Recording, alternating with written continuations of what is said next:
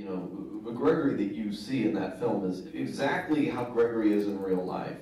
Um, he's incredibly lovable. He's funny as hell. He's mischievous. He's duplicitous. He's a genius. He's a savant.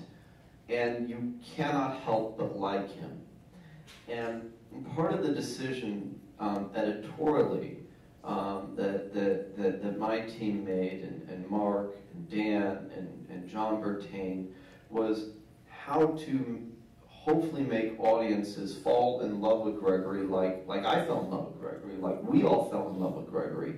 Because, you know, in, in film, you know, taking out the documentary of it, is if an audience can connect with the character on a personal level and they can laugh and they can feel compassion and caring, then you can invest deeper into that story and it and it kind of transcends a piece of news or it transcends the idea of, of documentary.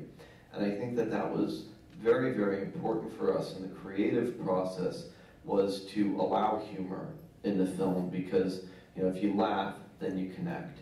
Was to allow seeing all the goofiness of Gregory's character so that when we got to how intense this was and how much his life was on the line, that you cared about the stakes, that you cared about the two of us.